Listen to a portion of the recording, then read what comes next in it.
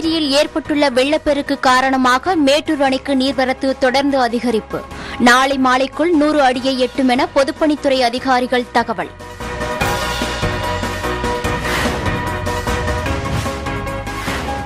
தென்காசி மாவட்டத்தில் தனியார் தோட்டத்தில் தோண்டப்பட்ட குழியில் கண்டெடுக்கப்பட்ட பழங்கால பொருட்கள். இரண்டாயிரம் ஆண்டுகள் பழமை வாய்ந்ததாக இருக்கும் என தகவல்.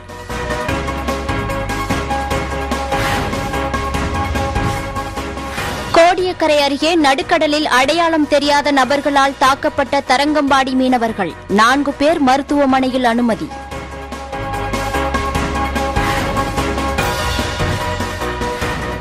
அரியலூர் மாவட்டத்தில் சம்பா நடவு பணியில் ஈடுபட்டுள்ள விவசாயிகள் தட்டுப்பாடின்றி உரம் கிடைக்க அரசு நடவடிக்கை எடுக்க வேண்டுமென கோரிக்கை.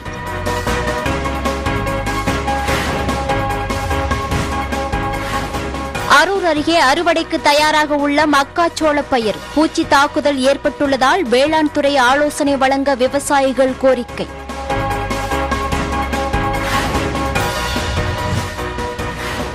கூடலூரில் ஊருக்குள் உலாவும் காட்டு யானை விநாயகன். காட்டுக்குள் அனுப்ப முதுமலையில் இருந்து இரண்டு கும்கி யானைகள் வரவழைப்பு.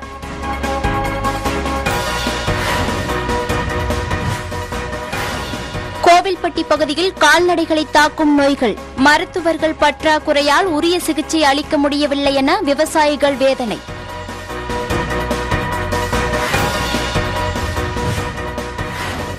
தீபாவளி விற்பனையை மீட்டெடுக்கும் முயற்சியில் விற்பனையாளர்கள். வாடிக்கையாளர்களை கவர அதிரடி ஆஃபர்கள் அறிவிப்பு.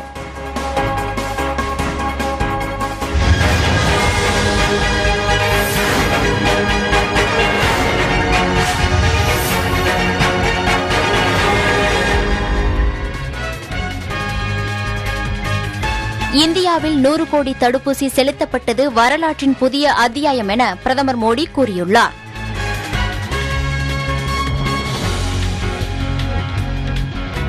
நாட்டு மக்கள் அனைவரின் கூட்டு முயற்சியால் தான் நூறு கோடி தடுப்பூசி சாதனை சாத்தியமானது என பிரதமர் மோடி தெரிவித்துள்ளார்.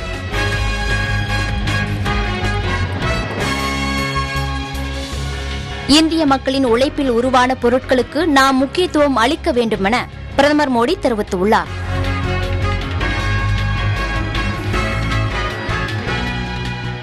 பண்டிகை காலங்களிலும் முகக்கவசம் அணிவதை தொடர வேண்டும் என்று பிரதமர் மோடி நாட்டு மக்களிடம் வேண்டுகோள் விடுத்துள்ளார்.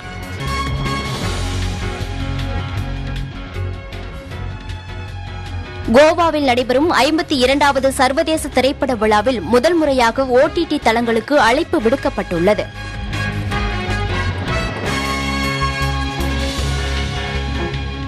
இந்தியாவில் நேற்று ஒரே நாளில் பதினைந்தாயிரத்து எழுநூற்று எண்பத்தாறு பேருக்கு புதிதாக கொரோனா தொற்று பாதிக்கப்பட்டுள்ளது.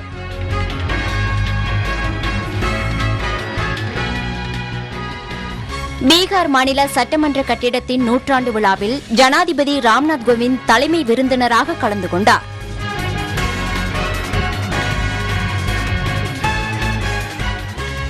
சபரிமலை ஐயப்பன் கோவிலில் அடுத்த ஆண்டு இரண்டாயிரத்தி இருபத்தி ரெண்டு நடை திறப்பு குறித்த கால அட்டவணையை திருவிதாங்கூர் தேவஸ்தானம் அறிவித்துள்ளது.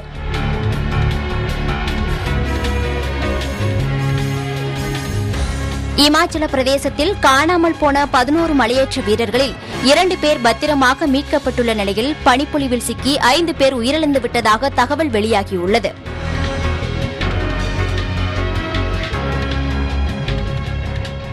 நிலக்கரி இறக்குமதிக்காக மங்கோலியாவில் இருந்து வந்தவர்கள் மூலம் சீனாவில் புதிய வகை கொரோனா வைரஸ் பரவி வருவதாக தகவல்கள் வெளியாகியுள்ளன.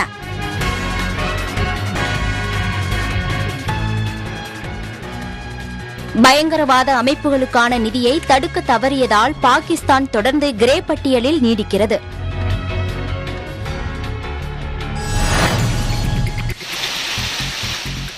வளிமண்டல மேலடுக்கு சுழற்சி காரணமாக தமிழகத்தில் நேற்று பல்வேறு மாவட்டங்களில் கனமழை பெய்தது.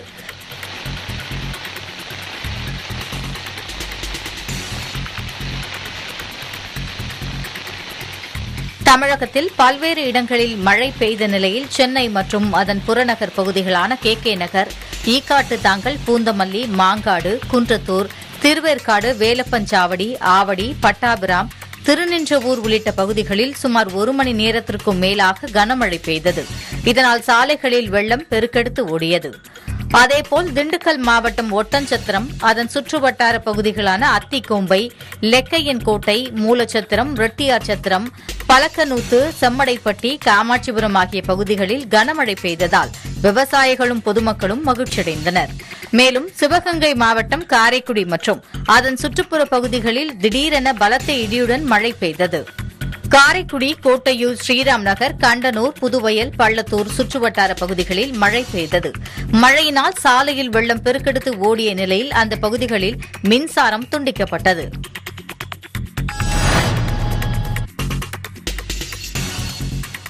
மேற்கு தொடர்ச்சி மலைப்பகுதிகளில் தொடரும் மழையால் முல்லைப் பெரியாறு அணையின் நீர்மட்டம் நூற்று முப்பத்து ஆறு அடியை நெருங்குகிறது. இன்று காலை நிலவரப்படி அணை பகுதியில் இருபத்தாறு மில்லிமீட்டர் மழை பதிவாகியுள்ளது. அணைக்கு வினாடிக்கு மூன்றாயிரத்து எண்ணூற்று ஐந்து கன அடி நீர் வந்து கொண்டிருக்கிறது. அணை நீர்மட்டம் நூற்று முப்பத்தைந்து புள்ளி நான்கு ஐந்து அடியாக உயர்ந்துள்ளது.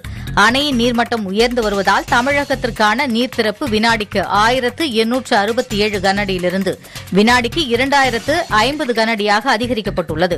அணை நீர்மட்டம் நூற்று நாற்பது அடியானதும் முதற்கட்ட வெள்ள அபாய எச்சரிக்கையும் நூற்று நாற்பத்தோரு அடியில் இரண்டாம் கட்ட வெள்ள அபாய எச்சரிக்கையும் நூற்று நாற்பத்தி இரண்டு அடியானதும் மூன்றாம் கட்ட வெள்ள அபாய எச்சரிக்கை விடுக்கப்பட்டு உபரி நீர் கேரளாவிற்குள் திறந்து விடப்படும் என தமிழக பொதுப்பணித்துறை அதிகாரிகள் தெரிவித்துள்ளனர்.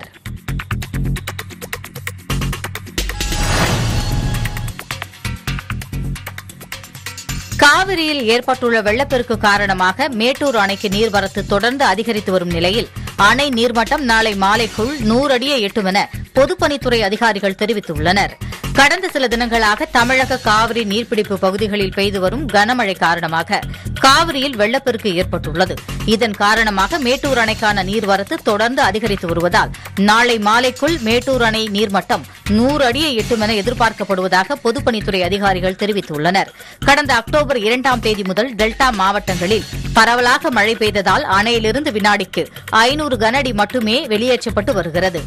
இன்று காலை நிலவரப்படி அணைக்கு நீர்வரத்து வினாடிக்கு பதிமூன்றாயிரம் கனஅடியாக அதிகரித்தது.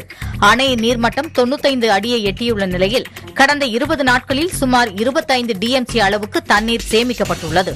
தற்போது அணையின் நீர்மட்டம் தொன்னூத்தைந்து புள்ளி ஒன்று பூஜ்ஜியம் அடியாகவும் நீரிருப்பு ஐம்பத்தெட்டு புள்ளி ஆறு ஏழு டிஎம்சியாகவும் உள்ளது.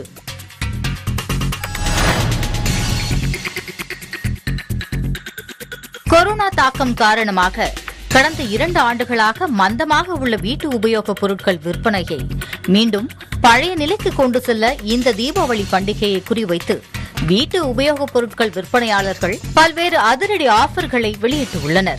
ஆண்டுதோறும் வருமானத்தில் குறிப்பிட்ட தொகையை சேமித்து ஒதுக்கி வைக்கும் பொதுமக்கள். அதை பெரும்பாலும் தீபாவளி பண்டிகையின் தேவையான வீட்டு உபயோகப் பொருட்கள் வாங்குவது பயன்படுத்துவது வழக்கம். இதனால் ஒவ்வொரு வருடமும் தீபாவளி பண்டிகையின் போது வீட்டு உபயோகப் பொருட்கள் விற்பனை களை கட்டும். இந்நிலையில் மதுரையில் உள்ள வீட்டு உபயோகப் பொருட்கள் விற்பனை கடைகளில் வீட்டு உபயோகப் பொருட்களான சோஃபா கட்டில் டேபிள் ஆகியவற்றின் விற்பனை முன் எப்போதும் இல்லாத அளவிற்கு மந்தமாக உள்ளதாக வியாபாரிகள் கவலை தெரிவிக்கின்றனர். கொரோனா பாதிப்பு காரணமாக இரண்டாவது ஆண்டாக விற்பனை மந்தமாகியுள்ளது. இப்போ நார்மலாக பார்த்தீங்கன்னா தீபாவளி டைமில் வந்து எங்களுக்கு சேல்ஸ் நல்லாவே இருக்கும். நல்லா தான் போயிட்டுருக்கோம் இப்போ டூ இயர்ஸ் பிஃபோர் உள்ள சேல் வந்து இப்போ கொஞ்சம் கொஞ்சம் ட்ராபேக் ஆன மாதிரி இருக்குது பிகாஸ் ஆஃப் அந்த கொரோனானால தான் எல்லாமே இப்போ இன்வெஸ்ட்மெண்ட் வந்து பார்த்தீங்கன்னா ஃபர்னிச்சர்ஸ்லாம் இன்வெஸ்ட்மெண்ட் பண்ணுறதுக்கு கொஞ்சம் லிட்டில் யோசிக்கிறாங்க. ஆனால் நார்மலாக அந்த முகூர்த்த டைமு அந்த வீடு ரெனோவேஷன் டைமு அந்த அதுக்கெலாம் வந்து எல்லாமே அதுக்கு இன்வெஸ்ட்மெண்ட் பண்ணுறாங்க பட் இப்போ இந்த டைமில் வந்து பார்த்துட்டிங்கன்னா கொஞ்சம் லிட்டில் பிட்டு கொஞ்சம் டிராபேக்காக தான் இருக்கு.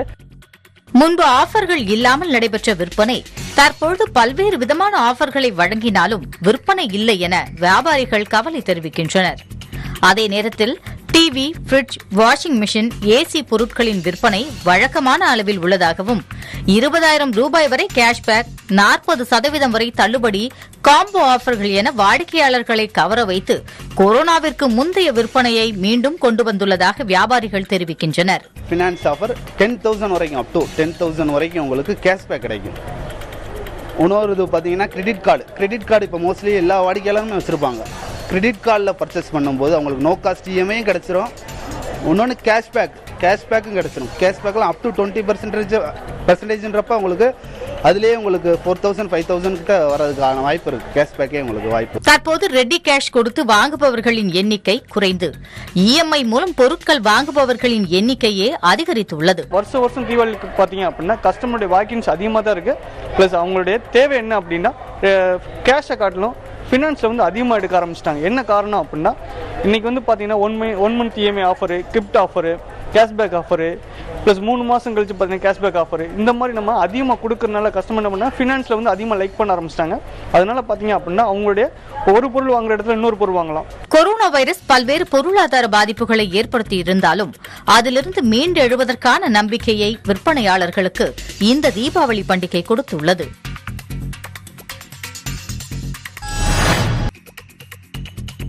அரியலூர் மாவட்டத்தில் உரமானியம் வழங்கவும் உர தட்டுப்பாட்டை நீக்கவும் அந்த மாவட்ட விவசாயிகள் கோரிக்கை விடுத்துள்ளனர். அரியலூர் மாவட்டம் தாப்பழூர் ஒன்றியத்தில் தற்போது சம்பா சாகுபடி பொன்னாற்று பாசனம் சுமார் எட்டாயிரம் ஏக்கருக்கு மேல் நடவு பணி நடைபெற்றது. நடவு பணிகள் முடிவடைந்த நிலையில் நடவின் போது இடவேண்டிய உரம் கிடைக்காமல் விவசாயிகள் சிரமப்பட்டு வருகின்றனர். மேலும் தொடக்க வேளாண்மை கூட்டுறவு சங்கம் மூலம் விவசாயிகளுக்கு வழங்கப்படும் உர மானியமும் தற்பொழுது களையெடுக்கும் தருணம் வரை பயிர்கள் வளர்ந்துள்ள நிலையில் விவசாயிகளுக்கு வழங்கப்படவில்லை. விவசாயிகளுக்கு உரம் பற்றாக்குறை ஏற்படுவதற்கு இதுவும் ஒரு காரணமாக கூறப்படுகிறது. மேலும் இதே நிலைமை நீடி அதிகரித்தால் உரங்கள் விலை உயர்வு ஏற்படும் அபாயம் உள்ளதாக விவசாயிகள் தெரிவிக்கின்றனர். ஆகையால் மாவட்ட நிர்வாகம் தங்களின் வாழ்வாதாரத்தை கருத்தில் கொண்டு உடனடியாக உரமானியம் வழங்கவும் தட்டுப்பாடின்றி உரங்கள் கிடைப்பதற்கு வழிவகை செய்ய வேண்டும் என விவசாயிகள் கோரிக்கை விடுத்துள்ளனர்.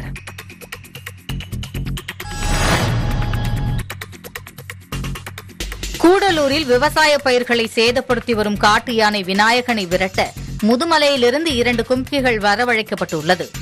இரண்டு வருடங்களுக்கு முன்பு கோவையிலிருந்து பிடிக்கப்பட்டு முதுமலை வனப்பகுதியில் விடப்பட்ட காட்டு யானை விநாயகன் தொடர்ச்சியாக வனப்பகுதியை ஒட்டிய கிராமங்களுக்குள் புகுந்து வீடுகள் மற்றும் விவசாய பயிர்களை சேதப்படுத்தி வருகிறது. விநாயகன் யானை இதுவரை முப்பதுக்கும் மேற்பட்ட வீடுகளை இடித்து சேதப்படுத்தியிருக்கிறது.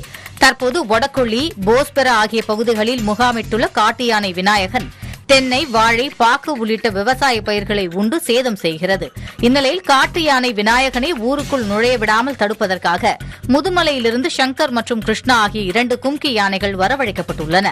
இரண்டு கும்கிகளும் ஒடக்கொல்லி பகுதியில் முதுமலை வனப்பகுதி எல்லையில் நிறுத்தி வைக்கப்பட்டிருக்கின்றன. அத்துடன் வனத்துறை பணியாளர்களும் கண்காணிப்பு பணிகளை மேற்கொண்டுள்ளனா்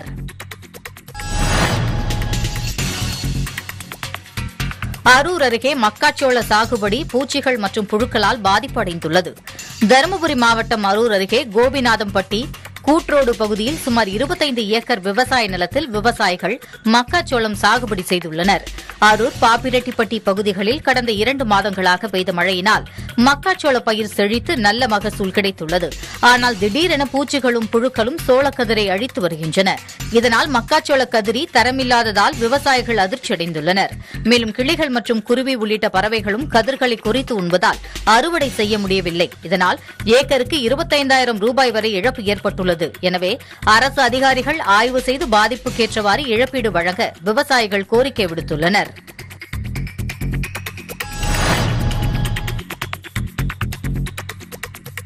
வால்பாறையில் அரசு பேருந்துக்குள் மழைநீர் வழிவதால் பேருந்தில் குடைபிடித்தபடி பயணம் செய்ய வேண்டிய நிலை ஏற்பட்டுள்ளதாக புகார் எழுந்துள்ளது. கோவை மாவட்டம் வால்பாறையிலிருந்து சேக்கல்முடி எஸ்டேட் பகுதிக்கு செல்லும் அரசு பேருந்து ஒன்று பழுதடைந்த நிலையில் இருந்தும் இயக்கப்பட்டதால் மழைநீர் முழுவதும் பேருந்துக்குள் கொட்டி வருகிறது. இதனால் பேருந்தில் பயணம் செய்த பயணிகள் பேருந்துக்குள் குடைபிடித்தபடி பயணம் செய்யும் நிலைக்கு தள்ளப்பட்டதால் பயணிகள் அவதியடைந்ததாக குற்றம் சாட்டியுள்ளனர். எனவே இதுபோன்ற மழையில் ஒழுகும் நிலையில் உள்ள பேருந்துகளை மாற்றி புதிய பேருந்துகளை இயக்க அரசு ஏற்பாடு செய்ய வேண்டுமென அந்த பகுதி மக்கள் கோரிக்கை விடுத்துள்ளனர்.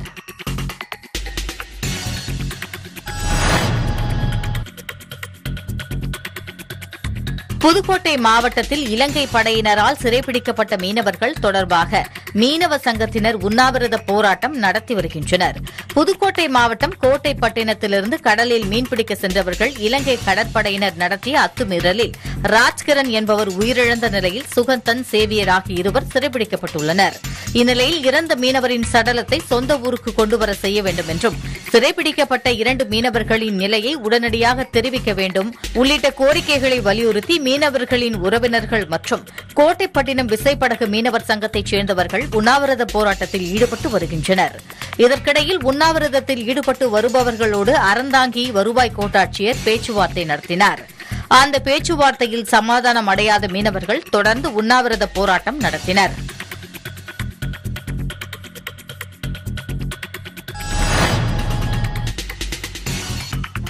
புதுமண வாழ்க்கையில் அடியெடுத்து வைக்கும் புதுமண தம்பதிகளுக்கு நாட்டில் நிலவும் விலைவாசி உயர்வை உணர்ந்து வாழ்வை நகர்த்த வேண்டும் என்பதை உணர்த்தும் விதமாக வெங்காயம் தக்காளி பெட்ரோல் டீசல் ஆகியவற்றை சீதனமாக வழங்கிய நண்பர்களின் செயல் அனைவரின் கவனத்தையும் ஈர்த்துள்ளது சமீப காலமாக நாடு முழுவதும் டீசல் பெட்ரோல் வெங்காயம் தக்காளி உள்ளிட்ட அத்தியாவசிய பொருட்கள் கடுமையாக விலை அதிகரித்துள்ளது. இதனால் சென்னையை அடுத்த அம்பத்தூர் பகுதியைச் சேர்ந்த கவிபாரதி சுமித்ரா ஆகியோரின் திருமண வரவேற்பு நிகழ்ச்சியில் தம்பதிகளுக்கு மணமகனின் நண்பர்கள் இரண்டு லிட்டர் பெட்ரோல் இரண்டு லிட்டர் டீசல் இரண்டு கிலோ வெங்காயம் இரண்டு கிலோ தக்காளி ஆகியவற்றை பரிசாக வழங்கியுள்ளனர். இது மணமக்களையும் மணமக்களை வாழ்த்த வந்தோரையும் சிந்திக்க வைத்துள்ளது. மேலும் கொரோனா தொடர்பான அடைமொழியுடன் கூடிய கட் அவுட் வைத்து அதில் ஐடி ஊழியருக்கு தொற்று உறுதியாகியுள்ளது எனவும் இனிமேல் நண்பா நீ போராட வேண்டியது கொரோனாவுடன் அல்ல உன் மனைவியுடன் எனவும் கிண்டல் அடித்து பேனர் வைத்துள்ளனர். இளைஞர்களின் இந்த செயல் காண்போரை சிரிக்கவும் வைத்தது குறிப்பிடத்தக்கது.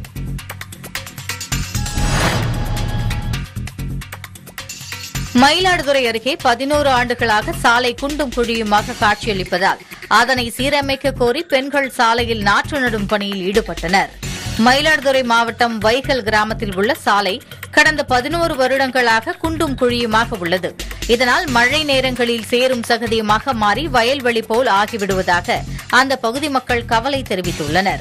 இந்நிலையில் சாலையை செப்பனிடக் கோரி அந்த பகுதி நிர்வாகத்திடம் பலமுறை மனு அளித்தும் சாலையை அதிகாரிகள் சீரமைக்காததால் பொதுமக்கள் கடும் அவதியடைந்து வருவதாகவும் அந்த பகுதியினர் தெரிவித்துள்ளனர். வயல் போல் காட்சியளிக்கும் சாலையை செப்பனிட நடவடிக்கை எடுக்காத அதிகாரிகளுக்கு உணர்த்தும் விதமாக சேரும் சகதியுமாக உள்ள சாலையில் நாட்டுப்புற பாடல்களை பாடி நாற்றுகளை நடவு செய்து போராட்டத்தில் ஈடுபட்டனர்.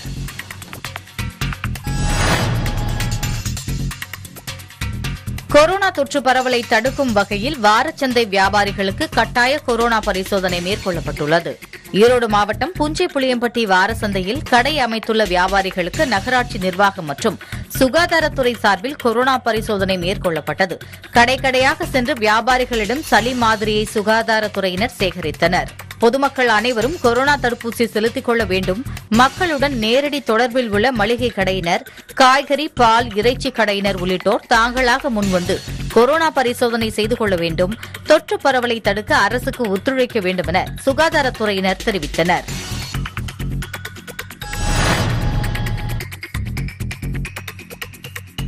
பூந்தமல்லி சுற்றுவட்டார பகுதிகளில் ஒரு மணி நேரமாக கொட்டி தீர்த்த கனமழையால் சாலைகளில் மழைநீர் தேங்கி குளம் போல் காட்சியளிப்பதாக புகார் எழுந்துள்ளது. சென்னையை அடுத்த பூந்தமல்லி மாங்காடு குன்றத்தூர் திருவேற்காடு வேலப்பஞ்சாவடி ஆவடி பட்டாபிராம் திருநின்றவூர் உள்ளிட்ட சுற்றுவட்டார பகுதிகளில் இடியுடன் கூடிய கனமழை பெய்தது. இந்நிலையில் பூந்தமல்லி தேசிய நெடுஞ்சாலை முக்கிய வீதிகளில் மழைநீர் குளம் போல் தேங்கியுள்ளதால் அவ்வழியாக செல்லக்கூடிய வாகன ஓட்டிகள் பெரும் சிரமத்திற்கு உள்ளானார்கள். மேலும் கால்வாய்கள் நிரம்பி சாலைகளில் மழைநீருடன் கழிவுநீரும் கலந்து சென்றதால் பொதுமக்கள் அவதியடைந்தனர். இதனால் அதிகாரிகள் உரிய நடவடிக்கை மேற்கொள்ள வேண்டும் என அந்த பகுதி மக்கள் கோரிக்கை விடுத்துள்ளனர்.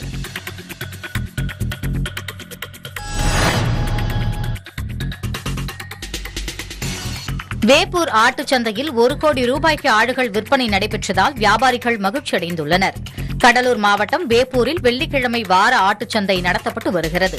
ஐப்பசி மாதம் தொடங்கியதை அடுத்து ஆடுகள் விற்பனை களை கட்டியது. சந்தையில் கொடியாடு வெள்ளாடு செம்மறியாடு கருப்பு ஆடு மாலாடு நாட்டு ஆடு வெள்ளை ஆடு உள்ளிட்ட ரகங்கள் விற்பனைக்காக கொண்டுவரப்பட்டன ஆடு ஒன்று சராசரியாக மூன்றாயிரம் முதல் பதினைந்தாயிரம் ரூபாய் வரை விற்பனை செய்யப்பட்டது. சந்தையில் வழக்கத்தை விட ஐநூறு ரூபாய் கூடுதலாக விற்பனையானதாகவும் நான்கு மணி முதல் எட்டு மணிக்குள் நான்கு மணி நேரத்திற்குள் மூன்றாயிரம் ஆடுகள் விற்பனையானதாகவும் வியாபாரிகள் தெரிவித்துள்ளனர். இந்த வாரம் மொத்தமாக ஒரு கோடி ரூபாய்க்கு விற்பனை நடைபெற்றதால் வியாபாரிகள் மகிழ்ச்சி அடைந்துள்ளனர் மேலும் ஊராட்சியின் மூலம் நடத்தப்படும் ஆட்டுச்சந்தை ஏலம் விடாததால் சாலையோரமாக நடைபெற்றதால் மாவட்ட நிர்வாகத்திற்கு வருவாய் இழப்பு ஏற்பட்டுள்ளதாகவும் தெரிவிக்கப்பட்டுள்ளது.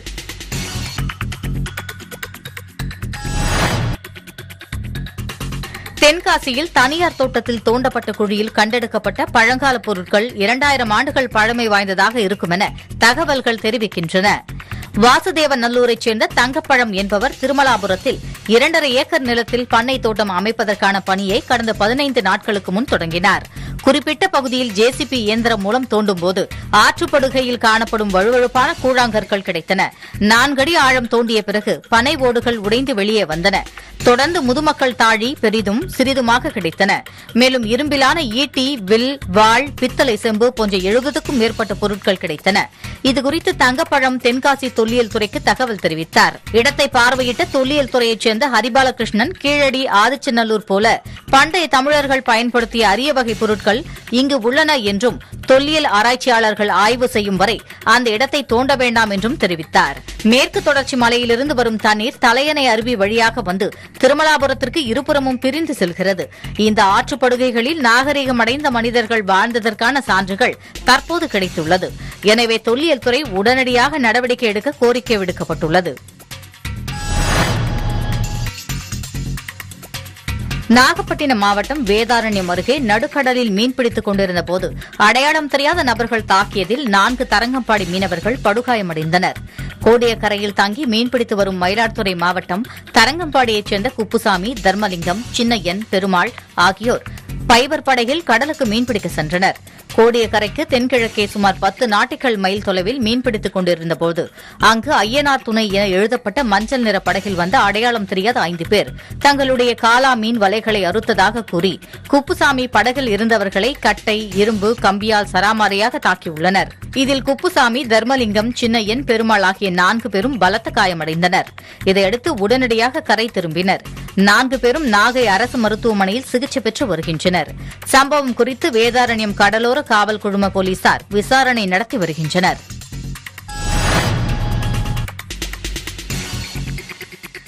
கர்நாடக மாநிலம் பந்திப்பூர் புலிகள் காப்பக வனப்பகுதியில் எல்லையை பகிர்ந்து கொள்வதில் இரண்டு ஆண் புலிகளுக்கு இடையே கடுமையான மோதல் ஏற்பட்டிருக்கிறது. இதில் சுமார் ஏழு வயது மதிக்கத்தக்க ஆண் புலிக்கு உடலில் பலத்த காயங்கள் ஏற்பட்டு வனப்பகுதிக்குள் சுற்றித் திரிந்தது. இதனை அறிந்த கர்நாடக வனத்துறையினர் அதற்கு மயக்க ஊசி செலுத்தி உயிருடன் பிடித்து மைசூரில் உள்ள வனவிலங்கு சிகிச்சை மற்றும் மீட்பு மையத்திற்கு சிகிச்சைக்காக கொண்டு செல்லப்பட்டுள்ளது.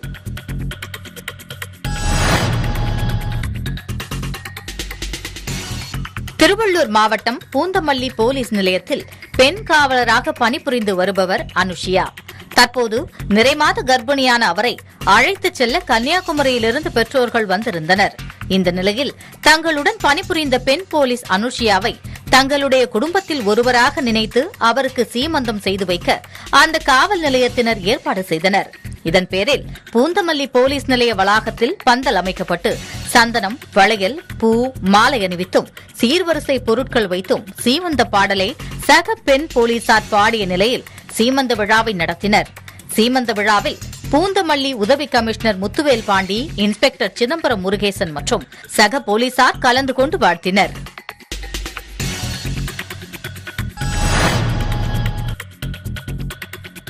சீர்காழி அருகே பட்டாசு கடையில் உடும்பு ஒன்று புகுந்ததால் அந்த பகுதியில் பரபரப்பு ஏற்பட்டது. மயிலாடுதுறை மாவட்டம் சீர்காழி அருகே தென்பாதியில் சுப்பிரமணியன் என்பவர் பட்டாசு கடை நடத்தி வருகிறார். இவர் வழக்கம் போல கடையை திறந்து வைத்துவிட்டு வியாபாரத்தில் ஈடுபட்டிருந்தபோது எதிரே உள்ள குளத்திலிருந்து அதிவேகமாக ஓடி வந்த உடும்பு ஒன்று கண்ணிமைக்கும் நேரத்தில் கடைக்குள் புகுந்து பட்டாசுகளுக்கிடையே மறைந்து கொண்டதாக கூறப்படுகிறது. தகவல் அறிந்த பாம்புபிடி வீரர் பாண்டியன் பட்டாசுகளுக்கு நடுவே மறைந்திருந்த இரண்டடி நீளமுள்ள உடும்பை லாவகமாக பிடி வெடித்ததை அடுத்து உடும்பு வனப்பகுதியில் பாதுகாப்பாக விடப்பட்டது.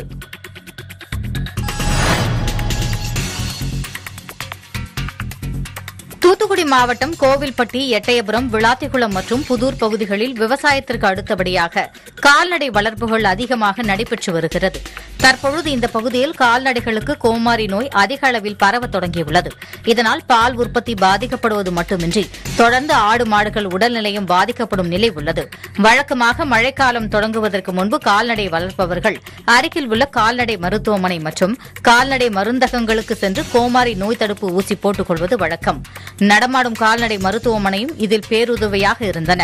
ஆனால் தற்பொழுது கோவில்பட்டி கால்நடை உதவி இயக்குநர் அலுவலகத்திற்கு உட்பட்ட முப்பத்து மூன்று கால்நடை மருந்தகம் மற்றும் ஒரு அரசு மருத்துவமனையில் வெறும் ஐந்து மருத்துவர்கள் மட்டுமே இருப்பதால் பல கால்நடை மருந்தகங்கள் பூட்டி கிடக்கும் நிலை இருப்பதால் வெளியிடங்களில் தடுப்பூசி போட்டுக் கொள்வதில் அதிக செலவும் சிரமமும் ஏற்படுவதாக கால்நடை விவசாயிகள் தெரிவிக்கின்றனர்.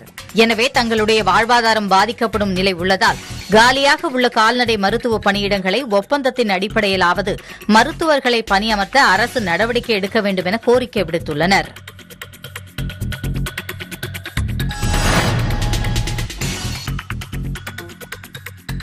தேனி மாவட்டம் பெரியகுளம் பகுதியில் உள்ள அ வாடிப்பட்டி ஊராட்சி மற்றும் பொம்மிநாயக்கன்பட்டி ஊராட்சி பகுதியில் கடந்த இரண்டாயிரத்தி பதினேழாம் ஆண்டு மத்திய அரசின் நிதி உதவியுடன் என்ஹெச்பிசி என்ற நிறுவனம் ஐநூற்றுக்கும் மேற்பட்ட ஏக்கரில் சோலார் மூலம் சூரிய மின் உற்பத்தி திட்டத்தை செயல்படுத்த தொடங்கியது.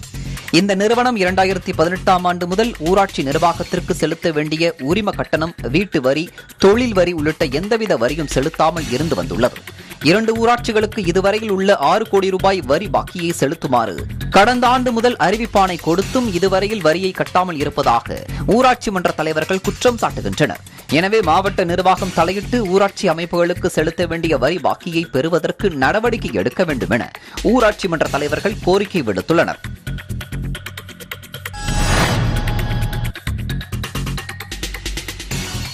திருவண்ணாமலை அருகே சுடுகாட்டிற்கு செல்லும் பாதை இல்லாததால் இறந்தவரின் சடலத்தை வயல்வெளிக்குள் கொண்டு செல்லும் அவல நிலை ஏற்பட்டுள்ளது. திருவண்ணாமலை மாவட்டம் வந்தவாசி அடுத்த கீழ்நமண்டி கிராமத்தில் ஆதி திராவிட மக்கள் நூற்றுக்கும் மேற்பட்ட குடும்பங்கள் வசித்து வருகின்றனர்.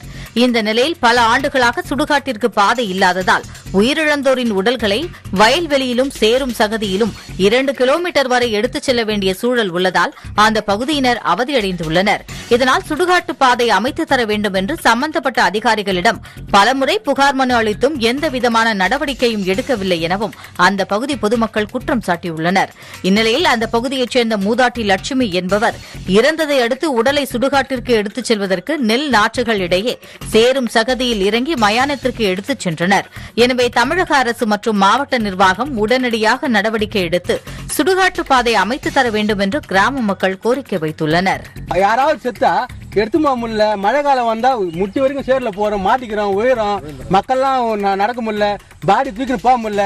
ஒரு தமிழ்நாடு அரசு வந்து இது வந்து கவனத்தில் கொள்ளணும். திருக்காட்டுப்பள்ளி மற்றும் கும்பகோணம் அரசு மருத்துவமனைகளில் காலாவதி மருந்துகள் வழங்கப்பட்டதில் விசாரணை நடத்தி நடவடிக்கை எடுக்க கோரிக்கை விடுக்கப்பட்டுள்ளது. தஞ்சை மருத்துவமனையில் தமிழக சட்டப்பேரவை பொது கணக்கு குழு மேற்கொண்டு அறிக்கை வெளியிட்டது.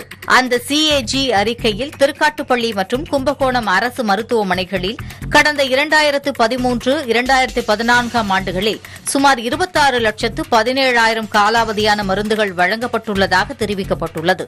இதற்கிடையில் திருக்காட்டு திருக்காட்டுப்பள்ளி பகுதி மக்கள் இது தொடர்பான குற்றத்தில் தொடர்புடைய அனைவரையும் விசாரணை நடத்தி தண்டனை வழங்க வேண்டும் என ஆதங்கம் தெரிவித்துள்ளனர்.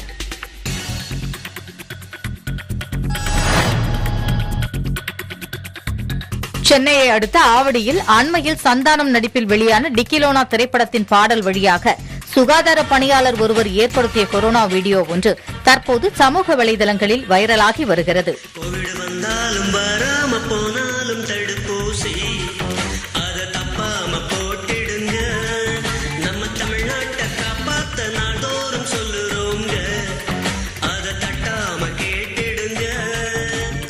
அதன்படி பேர் வெச்சாலும் வைக்காமல் போனாலும் பாடல் போல கொரோனா வந்தாலும் வராமல் போனாலும் தடுப்பூசி என்று விழிப்புணர்வு பாடலை பாடி சுகாதார அலுவலர் பொதுமக்களிடம் விழிப்புணர்வை ஏற்படுத்தியது அனைவர் மத்தியிலும் வரவேற்பை பெற்றுள்ளது.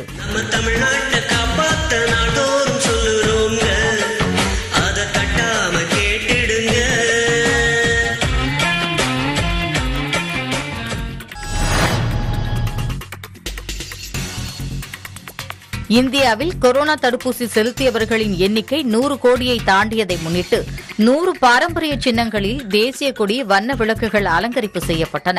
அந்த வகையில் தமிழகத்தில் அரியலூர் மாவட்டம் ஜெயங்கொண்டம் கங்கை கொண்ட சோழபுரம் சோழீஸ்வரர் ஆலயத்தின் கோபுரத்தில் தேசிய கொடி வண்ண விளக்குகள் கொண்டு எரியவிடப்பட்டன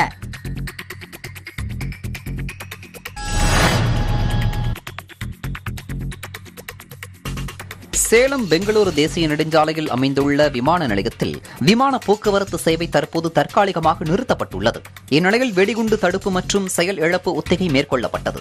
சேலம் விமான நிலைய இயக்குநர் ரவீந்திர சர்மா தலைமையில் நடைபெற்ற ஒத்திகை பயிற்சியில் விமான நிலைய நுழைவாயில் பயணிகள் உடைமைகள் பரிசோதனை கூடம் காத்திருப்பு அறை விமான ஓடுதளம் உள்ளிட்ட அனைத்து இடங்களிலும் வெடிகுண்டு தடுப்பு பிரிவு போலீசார் நவீன கருவிகளை கொண்டு முழுமையாக சோதனை செய்தனர். அதேபோல் மணல் மூட்டைகளின் நடுவே வெடிபொருட்களை வைத்து செயல் இழக்க செய்வது ஆகியவற்றை உண்மை சம்பவம் போல செய்து காட்டினர். மேலும் வெடிகுண்டுகள் இருந்தால் அதை எவ்வாறு பாதுகாப்பாக எடுத்து செல்வது மக்களை பாதுகாப்பாக வெளியேற்றுவது போன்ற பல்வேறு ஒத்திகையும் செய்து காண்பிக்கப்பட்டது.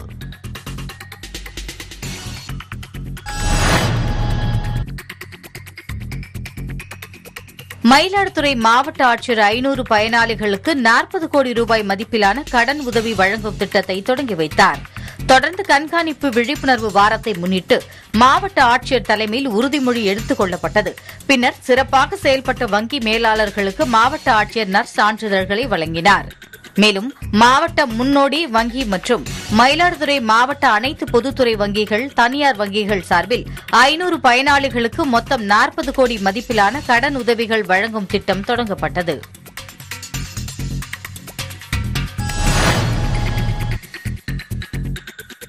நாகை மாவட்டம் வேதாரண்யம் அருகே கடந்த நான்கு ஆண்டுகளாக அகஸ்தியம் பள்ளியிலிருந்து திருத்துறைப்பூண்டி வரை அகல ரயில் பாதை அமைக்கும் பணி பாலங்கள் கட்டும் பணியும் நடைபெற்று வருகிறது. இதையடுத்து மணக்காடு கிராமத்தில் தற்காலிகமாக அமைக்கப்பட்ட இருப்பு பாதையில் சத்தீஸ்கர் மாநிலத்திலிருந்து வந்த இரும்பு தண்டவாளங்கள் இறக்கும் பணி நடைபெற்று வருகிறது.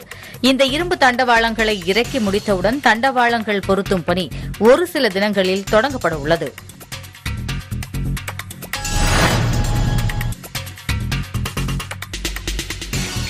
ஆயிரத்து ஐநூறு ரூபாய் பித்தளை செம்பை. இருடியும் என நம்பி இருபத்தைந்து லட்சத்தை இழந்தவர்கள் கொடுத்த புகாரின் பேரில் ஆறு பேர் கைது செய்யப்பட்டனர்.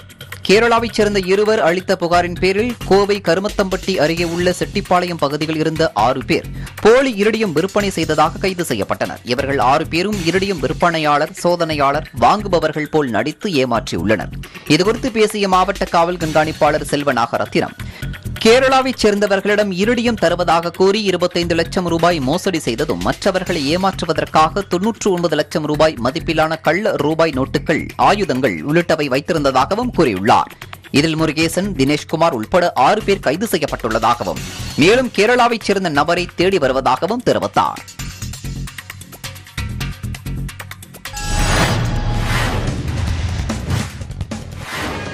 மயிலாடுதுறையில் அக்டோபர் இருபத்தோராம் தேதி உலக அயோடின் பற்றாக்குறை குறைபாடுகள் தடுப்பு தினத்தையொட்டி பள்ளி கல்லூரி மாணவிகள் உறுதிமொழி எடுத்துக் கொண்டனர்.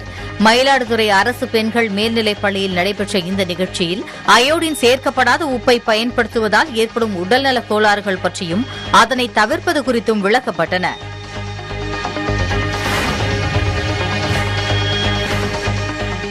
பணியின் போது உயிர்நீத்த காவலர்களுக்கு அஞ்சலி செலுத்தும் விதமாக வேதாரண்யத்தில் காவலர்களின் பேரணி நடைபெற்றது. பணியில் ஈடுபட்ட வீரதீர செயல்புரியும் போது உயிர்நீத்த காவலர்களின் தியாகத்தை போற்றும் வகையில் ஆண்டுதோறும் அக்டோபர் மாதம் இருபத்தோராம் தேதி அஞ்சலி செலுத்தப்படுகிறது. இதையொட்டி நாகை மாவட்டம் வேதாரண்யம் காவல் நிலையத்திலிருந்து பணியின் போது உயிர்நீத்த காவலர்களுக்கு அஞ்சலி செலுத்தும் வகையில் காவலர்களின் பேரணி முக்கிய வீதிகள் வழியாக சென்று ராஜாஜி பூங்காவை அடைந்தது.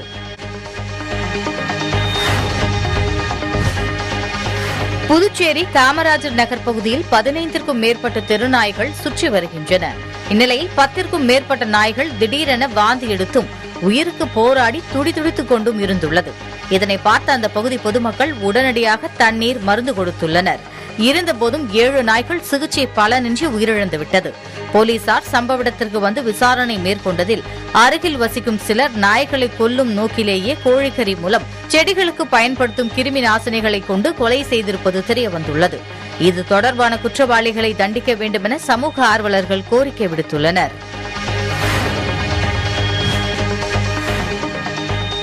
கரூர் மாவட்டம் வேலாயுதம்பாளையம் அருகில் உள்ள புகழூரில் தமிழக அரசுக்கு சொந்தமான தமிழ்நாடு செய்தித்தாள் காகித ஆலை செயல்பட்டு வருகிறது. இந்த ஆலையில் பல்வேறு சங்கங்கள் செயல்பட்டு வருகிறது.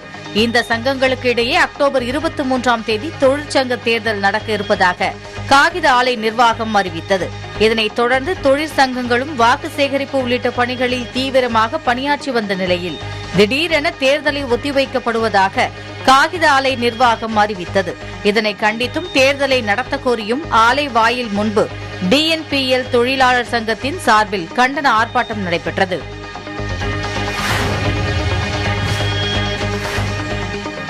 காஞ்சிபுரம் திருக்காளிமேடு தாமரைக்குளத்தின் அருகே அமைந்துள்ளது பெரியபாளையத்தம்மன் திருக்கோவில்.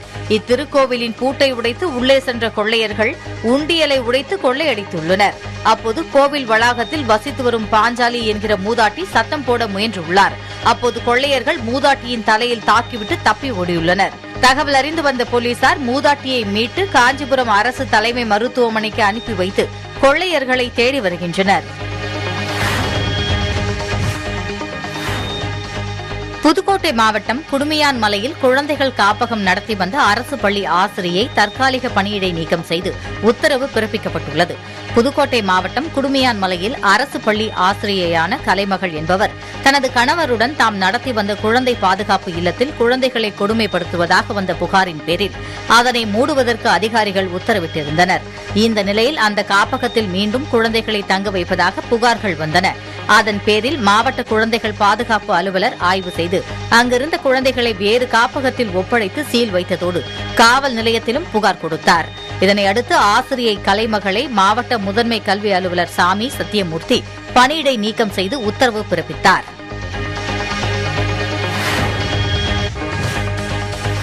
அரக்கோணம் ரயில் நிலையத்தில் சரக்கு ரயில் தடம் புரண்டு விபத்திற்குள்ளானது. அரக்கோணம் கோட் ஸ்டாண்ட் பகுதியிலிருந்து ரயில் தண்டவாளங்களை ஏற்றி செல்லும் சரக்கு ரயில் ராணிப்பேட்டை முகுந்தராயபுரம் பகுதிக்கு புறப்பட்டுச் சென்றது. இந்த ரயில் புறப்பட்டுச் சென்று சில மணி நேரத்தில் தண்டவாளங்கள் இணைக்கும் பகுதியில் சரக்கு ரயில் இன்ஜினில் இருந்து மூன்று பெட்டிகள் தடம் புரண்டது. சரக்கு ரயில் தடம் புரண்டு விபத்திற்குள்ளானதில் பயணிகள் ரயில் சேவையில் பாதிப்பு ஏற்படவில்லை. மேலும் ரயில் தடம் புரண்டு நின்றது குறித்து ரயில்வே துறை அதிகாரிகள் ஆய்வு நடத்தி வருகின்றனர். திருப்பூர் மாவட்டம் அவினாசி திருப்பூர் சாலையில் போலீசார் வாகன சோதனையில் ஈடுபட்டிருந்தனர். அப்போது அந்த வழியாக இருசக்கர வாகனத்தில் வந்த பிரதாப் குமார் என்பவர் திருட்டு வாகனத்தில் வந்தது தெரியவந்தது. தொடர்ந்து அவரிடம் விசாரித்ததில் அவர் ஏற்கனவே தொடர் இருசக்கர வாகன திருட்டில் ஈடுபட்டது தெரியவந்தது. இதையடுத்து அவரை கைது செய்த போலீசார் அவரிடமிருந்து இரண்டு இருசக்கர வாகனங்களையும் பறிமுதல் செய்தனர்.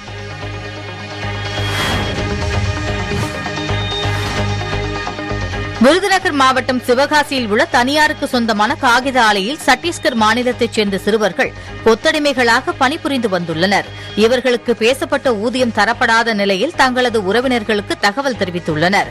இதையடுத்து அந்த சிறுவர்களை சிவகாசி காகித நிர்வாகத்தினர் அங்கு பணியாற்றிய ஏழு சிறுவர்கள் உள்ளிட்ட இருபத்தைந்து பேரை விருதுநகர் ரயில் நிலையத்தில் இறக்கிவிட்டுச் சென்றனர். தங்களிடம் பணம் இல்லாததால் ஊருக்கு செல்ல முடியாமல் தவித்து வந்த அவர்களிடம் போலீசார் விசாரணை நடத்தி வருகின்றனர். சிவகங்கை மாவட்டம் தேவக்கோட்டையில் ஆவின் சேர்மேனாக உள்ள அசோகன் என்பவருக்கு கல்லுவயல் கிராமத்திலும் வீடு உள்ளது.